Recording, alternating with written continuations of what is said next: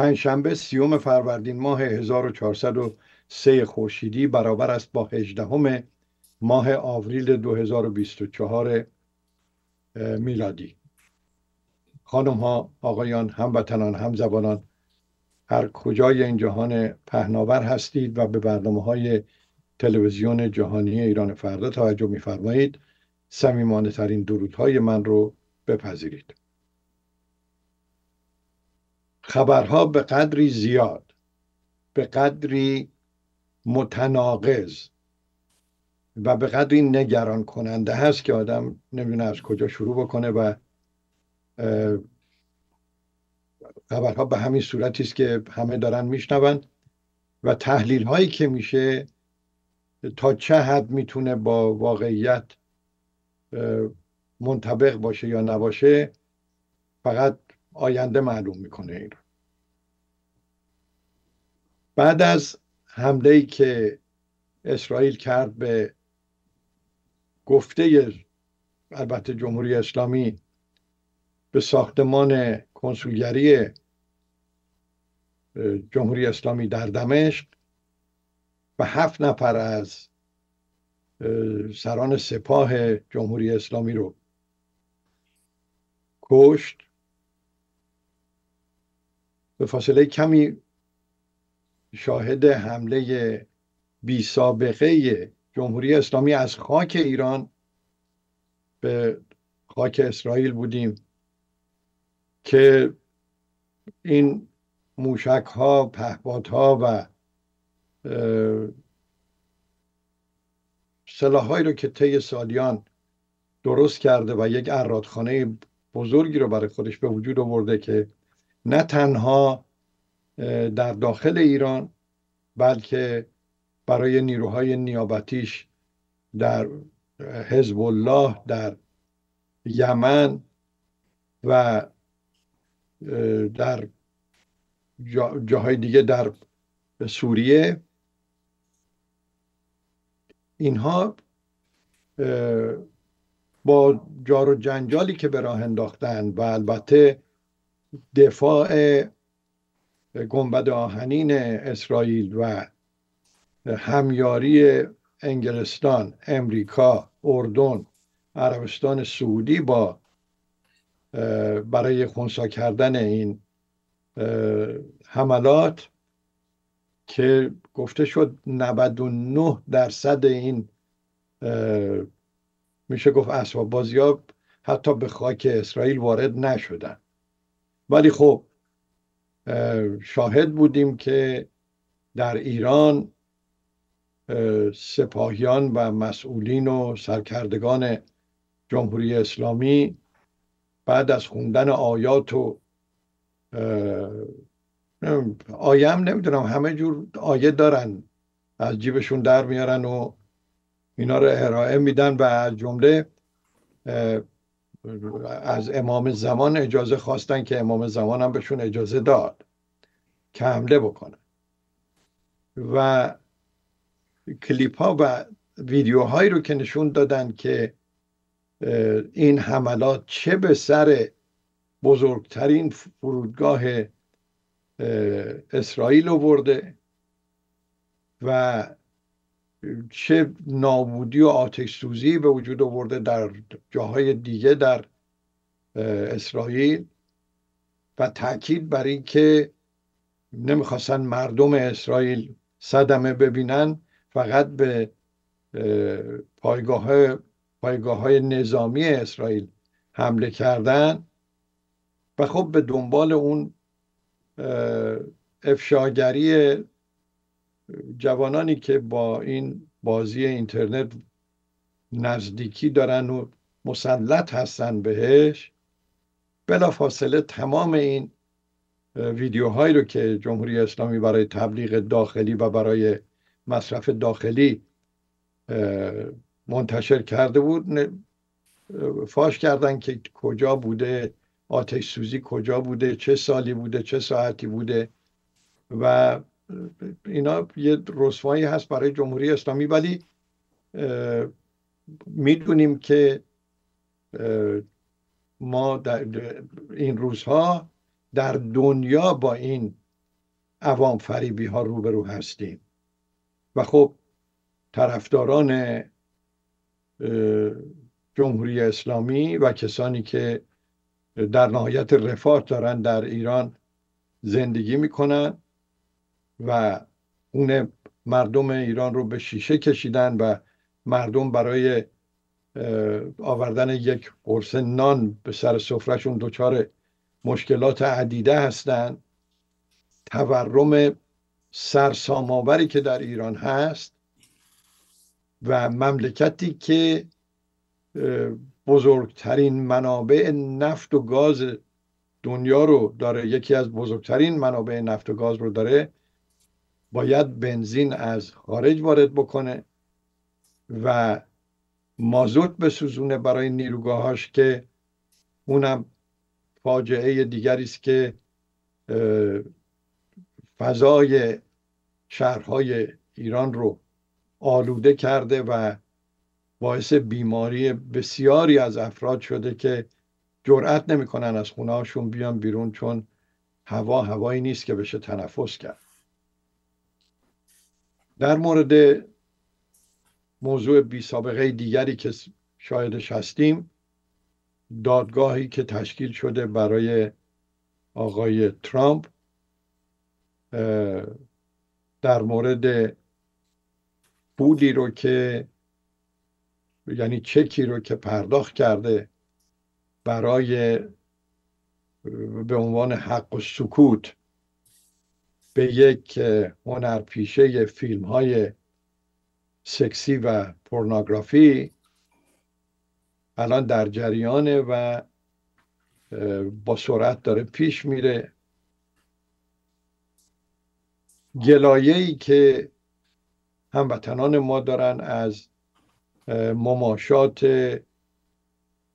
آقای بایدن با جمهوری اسلامی که الان فکر می‌کنم دیگه کاری کردن آخوندا که دیگه اونم داره به پایان می‌رسه.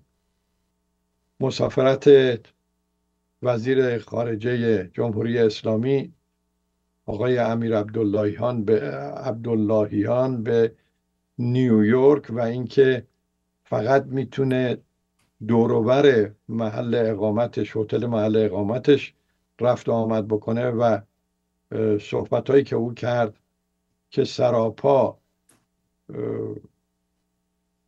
دروغ و توهم بود و ملاقات او با نماینده اردن که البته جمهوری اسلامی انتظار نداشت کشور اسلامی هم در این ماجرا با امریکا و اسرائیل و انگلیس و فرانسه همراهی بکنه. اینا تمام مسائلی است که مطرح هست و در همه این موارد چه کسی بهتر است؟ از جناب دکتر منصور فرهنگ که بینایت ازشون سپاسگزارم و ازشون استدا خواهم کرد که منو در این راه یاری بکنن و تعبیر و تفسیر و تحلیلی رو که دارن از این آنچه که داره میگذره با ما در میون بگذارن سلام جناب دکتر فرهنگ سلام بر شما. خیلی مچا امیدوارم که بتونیم گفتگوی مفیدی داشته باشیم. آقای دکتر فرهنگ امام زمان اجازه حمله رو صادر کردن مثل اینکه. در حال از جنبه به ایدئولوژی که بگذاریم واقعیت همین از زمانی که حماس که یک تشکیلات تروریستی است به اسرائیل حمله کرد. از اون زمان تا موقعی که ایران این پهپادها و موشکها رو شلیک کرد به خاک اسرائیل حدود 17 افسر عالی رتبه جمهوری اسلامی به وسیله اسرائیل کشته شدند و بیش از 250 نفر از اعضای حزب الله. از اونجا که خصوصا در رابطه با زدن افسران ایران که در داخل هم گذاشته ولی این بار تبلیغات وسیعی گرفت و حامیان ایران رفیج رژیم در داخل رژیم در داخل یک پایگاه اجتماعی داره. حالا ده درصد 15 درصد سپاه پاسداران و خصوصا در بین این گروه ها عناصری هستند که انتظار دارند ایران با جسارت و به طور کلی جنبه قدرت خودش رو بیشتر در این تقابل بخواد نشون بده. به همین دلیل تا اون زمان توجه داشته باشیم که تا اون زمان این تقابلی که بین اسرائیل و ایران وجود داشت بهش می‌گفتن جنگ خاکستری. حداقل اصطلاحی که در انگلیسی به کار می‌برن تجزیه تحلیل این جنگ خاک یعنی اینکه روبروی همدیگه جنگ عادی نیست. بلکه به طور غیر مستقیم حملاتی به همدیگه می‌کنن و همینطور هم بود. هم. در اینجا بود که وقتی ما راجع به سیاست خارجی ولایت فقیه صحبت می‌کنیم توجه داشتیم داریم راجع به یک شخص بینش و تصمیم یک فرد صحبت می‌کنیم. و اون علی خامنه ای یعنی رهبر اون یک فرده. و این متاسفانه تو تاریخ ما همیشه اینطوری بوده. اینطور نیست که تصمیم گیری مسائل سیاسی روی تجزیه و تحلیل جمعی و مبنای داده هایی که کسی بگه خب اگر ما این اقدام رو بکنیم چه نتایجی می‌تونه بده؟ چه ارتباطی با منافع ملی داره؟ رژیمی است که تنها رژیمی است که در دنیا با منافع ملی بیگانه است و می‌خواد امت سازی بکنه. و به این دلیل تصویری که از رژیم تو نیروهای نیابتیش وجود داره برای رژیم و تبلیغات رژیم مهمه. حالا ما هر انتقاد و هر محکومیتی که بخوایم روش بذاریم دارم بینش اونها و رفتار اونها رو در چارچوب تفکر خودشون توضیح میدم. این بود که به اصطلاح تا اون زمان این رفتاری که بین اسرائیل و ایران وجود داشت بهش می‌گفتن که ما وارد تقابل بازدارنده هستیم. کلمه دیترنس استفاده می‌کنیم هدف ما اینه که جلوگیری بکنیم پیشگیری بکنیم از خطری که می‌تونه متوجه ما باشه.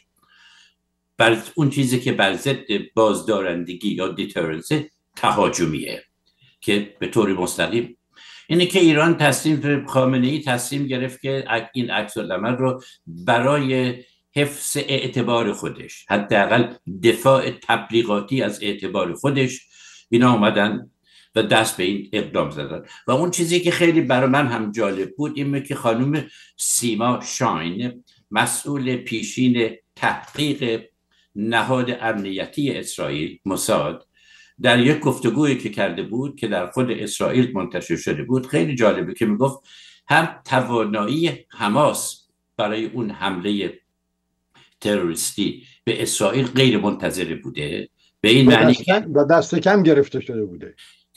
به اون شکلی که قدرتشون که بخوان به اون شکل که بتونن بیان 1400 نفر بکشن و 120 تعداد زیادی 200 گروگان بگیرن اون کلم عبارتی که او استفاده می‌کنه میگه این اشتباه بوده دست کم گرفت توانایی رو نمی‌دیدن. و همینطور در رابطه با اینکه ایران بتونه بیش از 300 پهپاد و موشک به اسرائیل پرتاب بکنه این هم از جهت به خانم سیما شاین که به شخصیتی از نظر اطلاعاتی و تحلیلی امنیتی در اسرائیل و مسئولیتی داشته در نهاد امنیتی است. چون از اون فرد داره میاد یعنی در داخل خود اسرائیل بحث بسیار مهمی در این رابطه شد. اینه که این, این امروز چه میشه؟ خیلی جالبه که نکته ای که واقعا در این رابطه باید گفت که در وزیر خارجه ایران گفته که اون گفته هفتاد ساعت. حالا ممکنه دیرتر چند روزه از طریق هم به آمریکا اطلاع داده بودن از طریق سفر سوئیس و هم به ترکیه و قطر و به طور کلی کشورهای منطقه چون از فضای هوایی اونها خصوصا عراق و از چند جای مختلف فقط هم از, از ایران نبوده.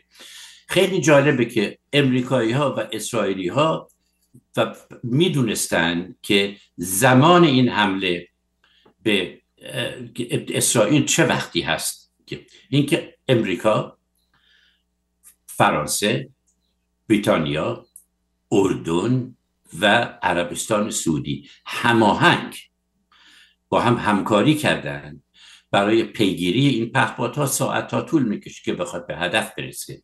ولی موشک ها زودتر. یعنی یک سیستم بسیار سازمان داده شده و هماهنگی بوده که تونستن 99 درصد این پهپادها و موشک ها رو بزن یعنی اطلاع داشتن که دست بینه ممکنه که از نظر تعداد اطلاع نداشتن ولی از این که از طریق پهپاد موشک داره ایران استفاده می‌کنه اطلاع داشتن. و از نظر اگرچه به نتیجه دلخواه خودشون نرسیدن ضرری به اسرائیل نزد. ولی از نظر تبلیغاتی دستاوردی داشتن. حالا این تبلیغاتی ببخشید بین صحبتتون. در مورد اینکه جمهوری اسلامی گفته بود ما 75 ساعت قبلش خبر داده بودیم به امریکا سخنگوی دولت امریکا که اتفاقا یه خانمی است که فارسی رو خیلی خوب صحبت می‌کنه. گفت همچی چیزی درست نیست و ما همچی چیزی دریافت نکردیم. اون من دارم بگم این وضعی حال ممکنه اون رو یا دروغ گفته ولی به هر حال اگر این پنج کشور انقدر همزمان و سیستماتیک آمادگی این رو داشتن که بتونن این پهپادها رو جلوگیری بکنن حائلش بکنن نذارن که حتی وارد بیشتر اینها رو آمریکا زده. این خیلی مهمه که بدونیم.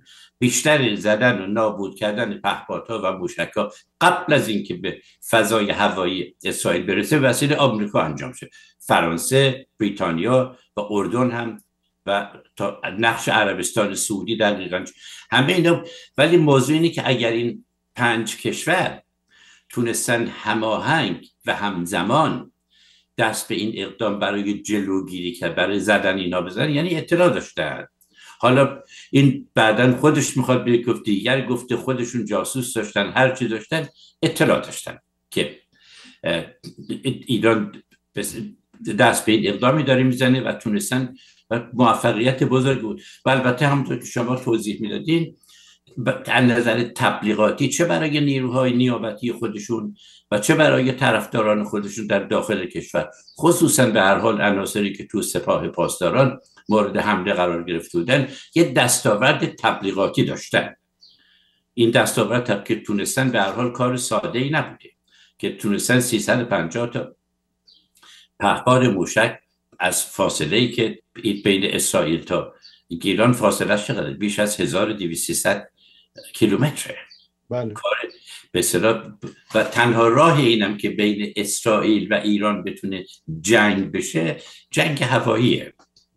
جنگ هوایی که و این برای بسیاری از ناظرین غربی این توانایی رو که ایران نشون داده براشون چه گفتی آور و غیر مترقبه بود. دکتر فرنگ واقعا یکی از مسائلی که فوق العاده دردناک هست اینه که جمهوری اسلامی وقتی کم میاره در این گونه موارد میفته به جون زنان و دختران و بانوان مبارز ایرانی. و الان صحنه که می‌بینیم از ضرب و شتم زنان در معابر عمومی جریمه هایی که بهشون میدن نمی‌دونم مصادره اموالشون اتومبیلشون تلفن دستیشون و خلاصه کار بیش از حد دور از انصاف و اقلانیتی نیست که جمهوری اسلامی نمی‌کنه در مورد زنان. این فکر نمی کنید فرافکنی هست برای اینکه اذهان عمومی رو از اون چه واقعیاتی که داره میگذره از کاری که جمهوری اسلامی داره می‌کنه با دادن اسلحه به اوکراین و غیر و و نیروهای نیابتیش می‌خواد اینا رو تمرکز رو از اونا برداره. ممکنه که یکی از نتایجش این باشه ولی وایه واقعیت اساسی تر و ریشه دارتری وجود داره. و اون اینه که ولایت مطلقی فقیه یک رژیم فاشیستی مذهبیه. و هم کلمه مذهب درش مهمه و هم فاشیست بودن.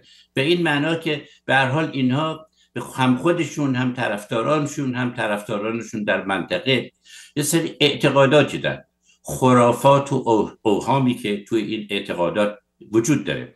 اینه که این رژیم ضد تجدده و ضدیت با تجدد و ضدیت با ارزش های فرهنگی و اجتماعی مدرن یعنی اون پیشرفت هایی که ما در طی دوران پهلوی داشتیم از نظر فرهنگی از نظر آموزشی از نظر حتی تغییر سیستم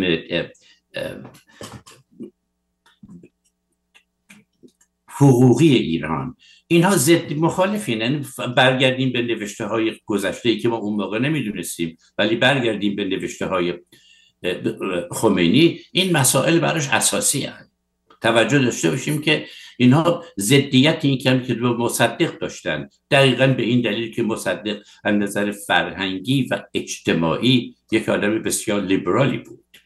یک واقع اینه که بله ممکنه که این استفاده های ابزاری هم ازش بکنن ولی این به این اینا اعتقاداتشونه و در بین خودشون دین سپاه پاسداران خانواده های اونا بعضی عناصری که در ایران وجود دارن کسانی هم باشن که با اونا در اگرچه اقلیت کوچکی هستن ولی همون اقلیت کوچک می‌تونه مسلح بشه و بتونه استفاده بکنه از 250 هزار سربازی که در نیروی سپاه پاسداران وجود داره.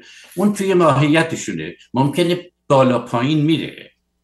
ولی ضدیت با اون یا طالبان ببینید این نکته ای که باید بهش توجه کرد اینه که ضدیت با تجدد به معنای ارزش های فرهنگی و اجتماعی تجدد یعنی آزادی. ضدیت با آزادی. توی به این بینش های رادیکال اسلامی جدید نیست. از روز اول در, در مسیحیت هم وجود داشته در یهودیت هم وجود داره همین الان حزب های یهودی هستن که رفتارشون نسبت به زنان دیگران تفاوتی نمونده. اونا قدرت دارن. منتها این برای اولین باری که در دو کشور این عناصر که دویست ساله با ارزش های تجدد با آزادی انسان مخالف بودن به قدرت رسیدن. به قدرت رسیدن یعنی آخوندا این احساسات چیزی تو خانواده های خودشون تو طرفدارای خودشون به همین چیزا اعتقاد داشته. یعنی شما بسیاری از شهرهای ایران قبل از انقلابی که می‌رفتی قالب زنان چادری بودن.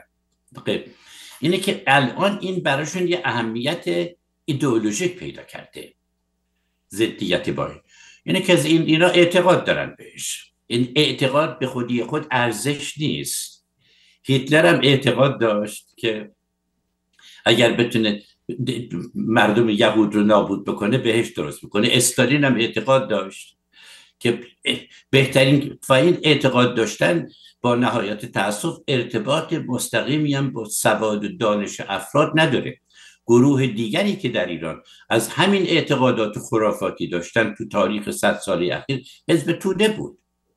حزب توده اعتقاد به این که به دنیا داره به طرف کمونیست پیش میره و به اصطلاح هدف وسیع در توجیه می‌کنه. به جای رسیده بود که یه کسی مثل مصدق یکی از لیبرال ترین یکی از مترقی ترین یکی از آزادی خواه ترین انسان هایی که در تاریخ مملکت با به قدرت رسیده به او چی می‌گفتن؟ می‌گفتن سگ زنجیری امپریالیسم.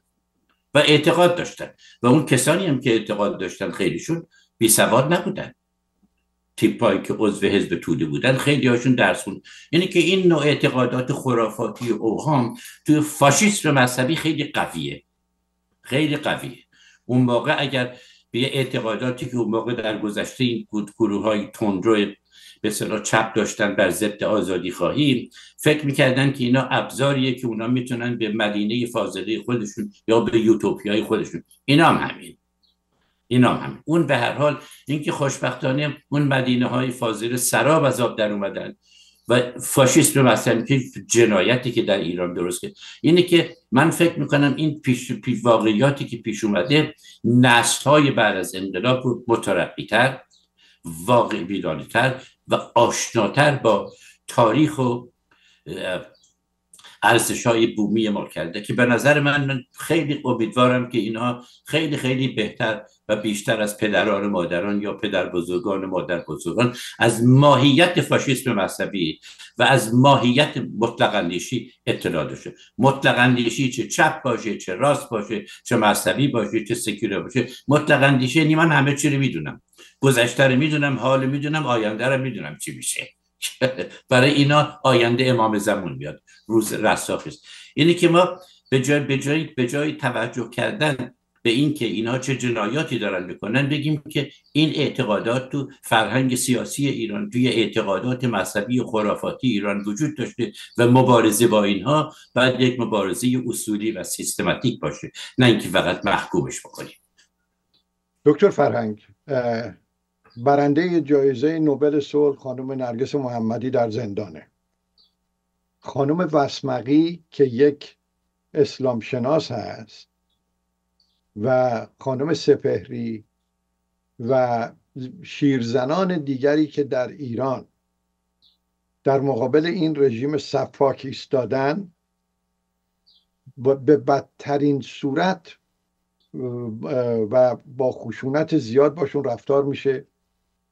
خانم وسمقی که محجبه بوده روسریش برداشته و میگه به هیچ در قوانینی رو که در قرآن هست و در اسلام هست به هیچ وجه راجع به این مسئله هجاب و این گونه بساتی رو که آخونده را انداختن سابقه وجود نداره.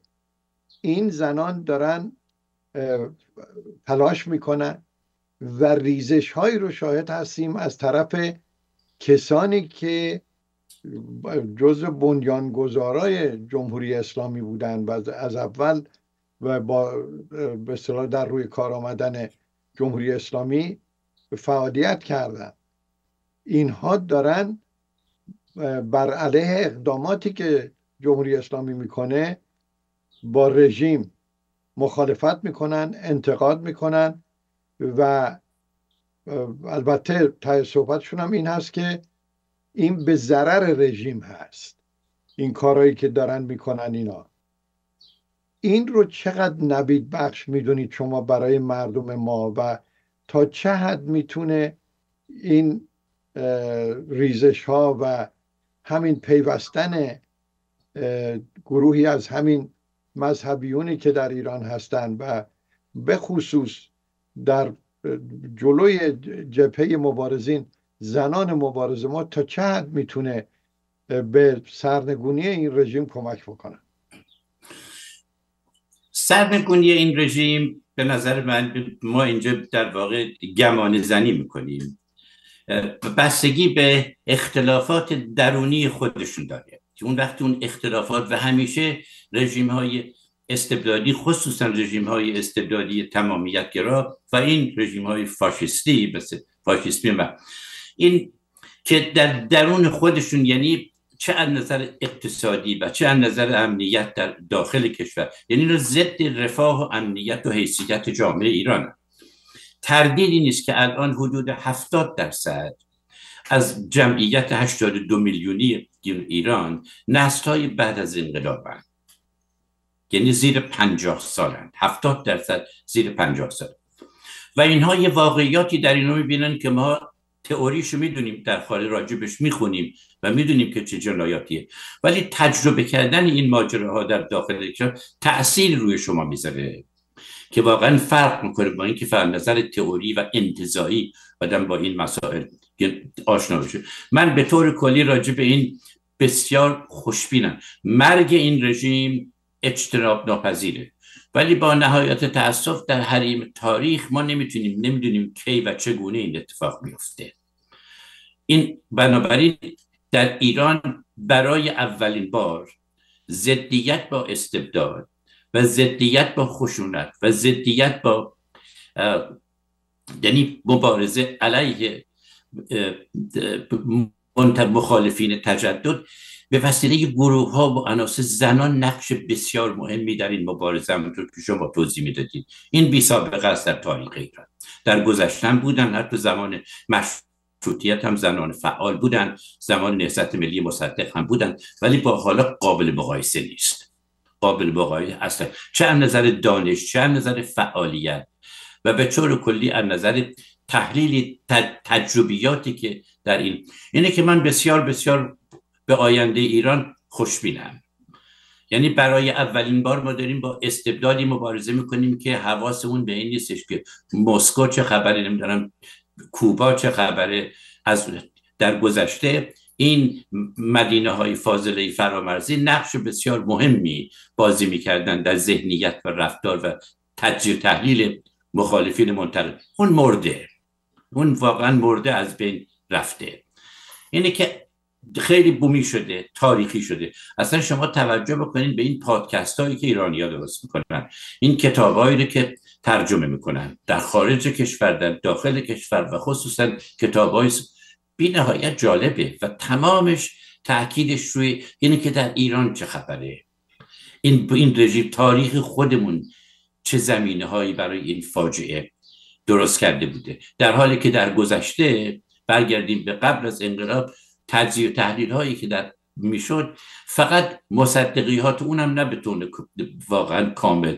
وگرنه قالب کسانی که با رژیم مبارزه می‌کردن اسلامی ها بودن که برمیگشتن میگن علی چی گفت حسن چی گفت حسین چی گفت امام زبون حسن حسین می و نیروهای چپ هم که کوبا بود نمی‌دونم ماوتستون بود استالین بود و اینها بودن. یعنی توجهش توجهشون به ایران و تاریخ ایران نبود. امروز مبارزین داخل کشور بیش از هر زمان دیگری بومی تاریخی فکر می‌کنن و مدین دنبال مدینه فاضله هم نیستن. دنبال واقعیات رو به صلاح می‌بینن که آزادی رو چجوری می‌تونی کسب کرد؟ آزادی رو چگونه میشه نهادینه کرد با نهایت تاسف نسل به صلاح کسانی که در خارج فعال هستن هنوز به اندازه کافی توجه به این واقعیات ندارند و هنوز در چارچوب بینش و تجدید های پیشین خودشون با همدیگه وارد بحث و گفتگو یا انتقاد میشن. اینه که من به طور کلی به آینده خوشبینم. ایران امروز من فکر می‌کنم از نظر زمینه ایجاد دموکراسی شانس ایران بیش از هر زمان دیگری نه تنها در خود کشور بلکه در تمام کشورهای اسلامی. دکتر فرهنگ این دیکتاتورها می‌بینن که سر دیکتاتورهایی مثل اونها چی آمده؟ صدام حسین رو می‌بینن قذافی رو می‌بینن و سایر نمونه هایی که وجود داشته. این چطوره که اینا درس نمی‌گیرن؟ آیا فکر می‌کنن که اینا روینتن هستن؟ اینا فرق می‌کنن با دیگران؟ اینا کسی جرات نمی‌کنه بهشون به اصطلاح درسی بده یا از اون بالا پایینشون بکشه. پاسخ همینی نه. ببینید مطلق اندیشی ایدئولوژی بس یعنی مطلق اندیشی یعنی شما همه چی رو در گذشته و حال آینده می‌دونید.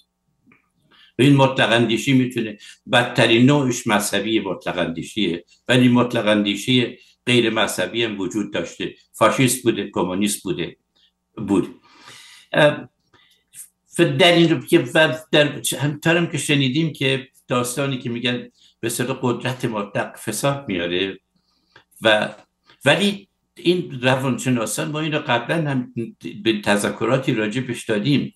تیپایی مثل فروید و یونگ در تجزیه تحلیلی که از رفتار و کردار هیتلر و موسولینی می‌کردن در دهه سی و بعد هم بسیاری از روانپناشون ادامه دادن اینا معتقدن که مطلق اندیشی می‌تونه بریدگی از واقعیت بیاره به صدا سایکوپاتولوژی بیاره روانپریشی ایجاد بکنه. یعنی واقعا اینا از واقعیت ها میباید یعنی تصور این که امکان داره واقعیتی جدا از اون چیزی که من فکر می‌کنم اعتقاد دارم وجود داشته مثلا خمینی 100 درصد تو این خط بود. هیتلر 100 درصد تو این خط بود. استالین 100 درصد تو این خط بود. اینه که بله نه اینا به این که بیان تجزیه و تحلیل بکنن که اینجا و اونجا چه اتفاق. یعنی هیچ کس رو قبول ندارن. صدام حسین کافر بوده. تمام کسانی که شکست خوردن کافر بودن با خداوند ارتباط نداشتن. اینا خودشون رو به اصطلاح نمایندگان امام زد. خیلی سخته برای ما بگیم اعتقاد ولی خیلی از اینا اعتقاد. و بعد وقتی که این کار رو با اعتقادایی که دارن شروع می‌کنن یعنی خرافات و اوهام و خرافات و اوهامی که اسمش از به فاشیسم مذهبی اینها وقتی در دنیای واقعیت چون اعتقاداتشون ارتباطی با واقعیت ها نداره در اون موقع دفاع از قدرت براشون نقش مهمی ایفا می‌کنه.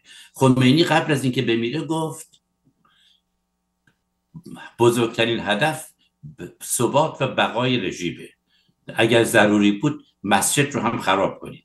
بنابراین کسانی که این اعتقادات رو دارن چه چپ باشن چه راست باشن چه فاشیست باشن چه کمونیست باشن چه شیعه باشن چه سنی باشن مطلق به جایی می‌رسه که به هر حال میگن چون حقیقت با ماست. بنابراین ما هر اقدامی که هر دروغی که بگیم هر حقوق بازی بکنیم هدف فسیده رو توجیه می‌کنیم. منتها شیعه گری حتی برای این هم تو دکون خودش تقیه کردن خیلی جالبه. خب توی کتاب کشف الاسرار خمینی رو که می‌خونین سه چهار صفحه هست در اونجا که راجع به تقیه صحبت می‌کنه و تقیه به عنوان یک اصل مهم اسلامی مطرح می‌کنه که وقتی شما قدرت می‌گیری توجه داشته باشی که به با واقعیت سر به هیچ وجه. اینه که هدف وسیله رو توجیه می‌کنه و با نهایت تاسف توی اینها اگه نمی‌دونیم حالا نسل بعدشون جوانتراشون که اگر ولی کسانی که در این چهل و پنج سال سر کار بودن بین خودشون کوچکترین اختلافی که در درون خودشون ایجاد میشه بلافاصله طرف رو حذف می‌کنن. دقیقا کاری که استالین و هیتلر می‌کرد. الان تیپ های مثلا یا کسی مثل آخونده و آیت الله هایی که سالها و سالها در خدمت همین فاشیست مذهبی بودن اختلاف نظری که فکر می‌کردن ثبات بقای رژیم حکم می‌کنه که با رفتار دیگری داشته باشیم. یا گرفتنشون یا بیرونشون کردن یا تو حبس خانگی هستن. اینه که تصور این که علی خامنه ای منطقی فکر بکنه در چارچوب رفاه و امنیت و حیثیت مردم فکر اون یک معجزه است که من بهش تصور نمی‌کنم هرگز اتفاق بیفته. دکتر فرنگ مماشاتی رو که دولت امریکا شخص آقای جو بایدن به خاطر نزدیک بودن انتخابات و اونچه که داره میگذره در امریکا پیش گرفته صدای خیلی از دولت مردان امریکا و مردم ما رو در آورده که در چنین شرایطی چرا باید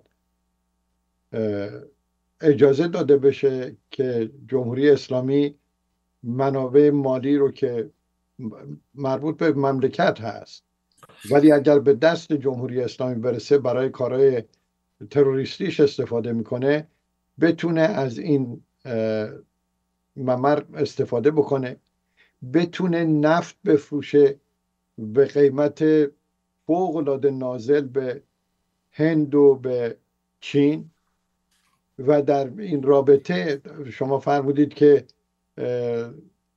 خامنه ای فقط خودش فکر می‌کنه که همه چی رو درست می‌بینه و چه در گذشته و آینده و همه چی رو می‌بینه.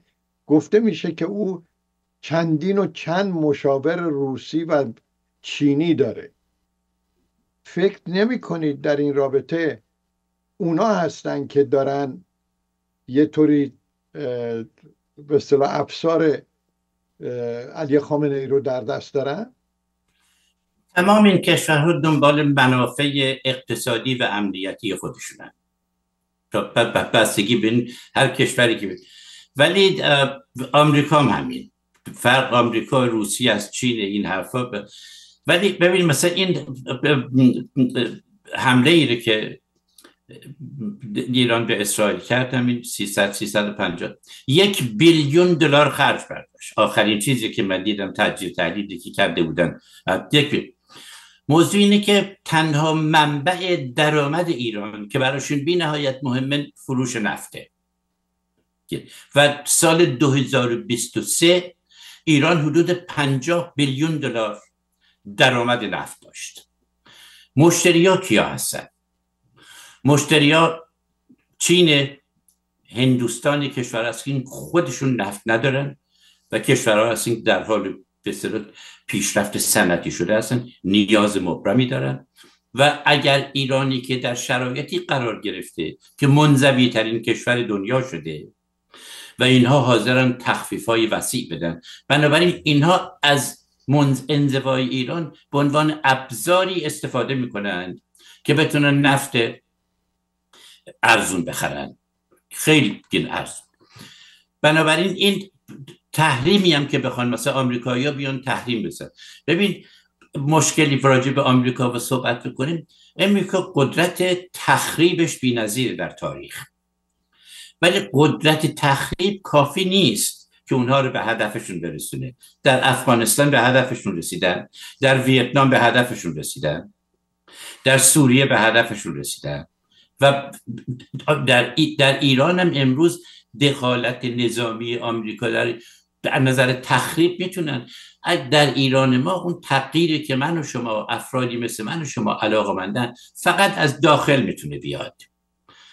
حمله تنها کاری که امروز از اسرائیل سخت علاقه بکنه و هیچ بعید نیست. که تمام اتحادیه اروپا و, و آمریکا هم حاضر باشه این کار بکنه و در اون شرایط روسیه و چین هم ممکنه به طور رسمی شرکت نکنن ولی به هیچ وجه مخالف نیستن. اونی که اگر نتونن از طریق دیپلماسی برنامه هسته ایران رو مهار بکنن و ایران به فعالیت خودش برای غنیسازی اورانیوم و توانایی بالقوه برای ساختن سلاح هسته ای پیش بره حمله نظامی به ایران اجتناب ناپذیره.